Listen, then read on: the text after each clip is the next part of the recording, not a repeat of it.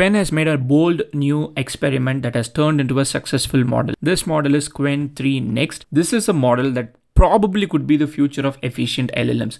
The reason why is this is an 80 billion parameter model, but only 3 billion parameters are activated per token. And that offers a lot of benefits. And in this video, we're going to learn about Qwen's new model, Qwen 3 Next, how it is different in terms of architecture and what kind of benefits it provides and how good the model is. First of all, to start with, why are we calling this as the future of efficient LLM? Primarily because the model is an 80 billion parameter model. It's an MOE mixture of experts model, a sparse MOE. In fact, it's an ultra sparse MOE that means there are 512 experts totally and then there are 10 routed experts plus one shared expert. There are 80 billion parameters overall, but only 3 billion parameters are activated per token. This model provides a much, much bigger relief for the block that Transformers has created, which is scaling for larger tokens.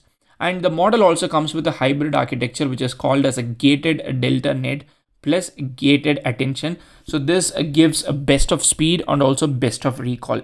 And the model also comes with multi-token prediction, speculative decoding, which helps you in uh, having a faster inference where the model is constantly trying to guess what the next token would be. I think overall, this is a great model. The model is available for us to use on Qwen's website. You can go chat with the model.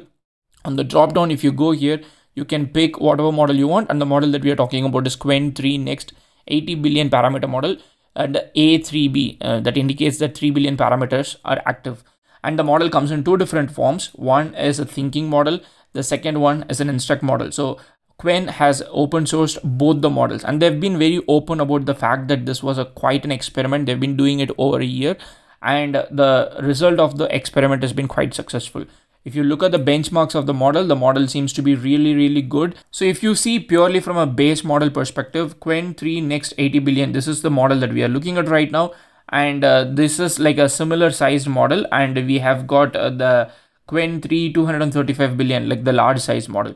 Now on mmlu this has scored 80 84 and while the biggest model largest model has scored 87 so it's quite very closer to whatever it is.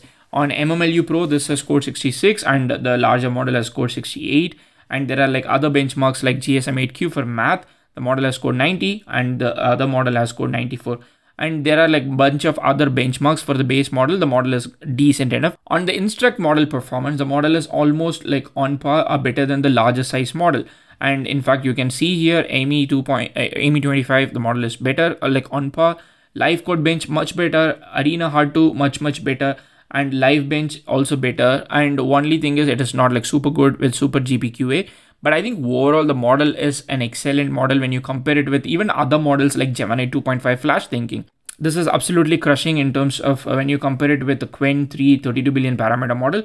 But if you also compare it with Gemini 2.5 Flash, this model seems like magnitude better than Gemini 2.5 Flash thinking. Not just the model is good with accuracy, the model also provides, primarily because of its uh, new efficient architecture, the model provides incredible speed improvement. So pre-training efficiency is higher. Uh, first of all, we saw that there is 10 times better pre-training efficiency, but also the inference speed is higher. So you can see during pre-fill when the when you chat with the LLM, when you give some tokens, the LLM is going to take the tokens and then it is going to pre-fill in the key value cache, KV cache.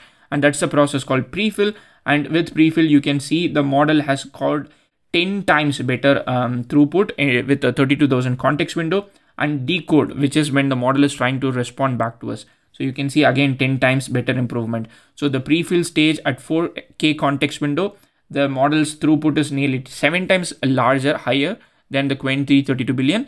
And at 32K context window, it is 10 times faster. And the decode stage, uh, you already know what is decode when the model is trying to output the answer to us. At 4K, the model is four times higher in terms of throughput. And uh, at 32K, the model is over 10 times uh, and it maintains the speed like you can see the flattened speed. So overall the model is a really good architecture. The model has got great innovation. The model is highly efficient. The model is faster. The model takes lesser time and lesser cost to train and the model holds the performance in terms of both instruct model and thinking model. And you know truly i mean the model is also open source. The model is available on hugging face for us to use under apache 2.0 license. It's it's such an incredible time to live where Qwen is constantly pushing the frontier not just with a larger size model, but also with innovative architectures, especially in terms of efficiency. I'm really, really happy that Qwen has open sourced this. And as you can see here, you can go to qwen.ai and then chat with the model. Just pick the model and start chatting with it. Let me know what you think about this model. I would love to make another tutorial how you can run the model on free Google Colab or some sort of GPU that you can rent. If you're interested in that, let me know in the comment section. Otherwise, see you in another video. Happy prompting.